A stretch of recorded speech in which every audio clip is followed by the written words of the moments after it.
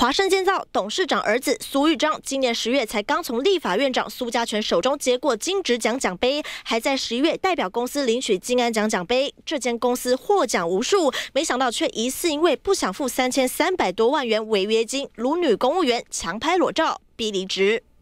爆发丑闻的银建公司就在高雄这栋大楼的五楼，实际来到这边不得其门而入。不过附近邻居倒说常见工人在这边进出。啊，客人都会讲啊，在这里知道是说楼上是营造公司啊，他都有看工人进进出出啊。工人也有进出出的。对啊。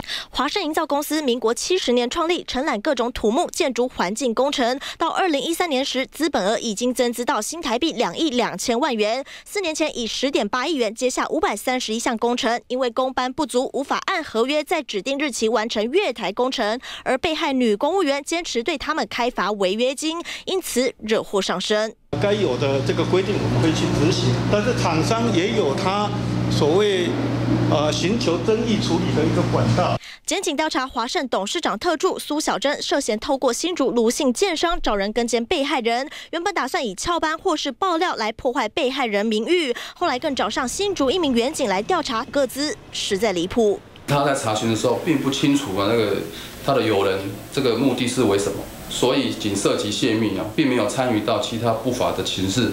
那目前我们依规定来列管辅导，那会在判决确定后哦再来追究相关人员的责任。华盛营造到现在还没付违约金，如今遭检举不法，东窗事发，重挫企业形象，而相关涉案人也逃不了法律责任，被依法起诉。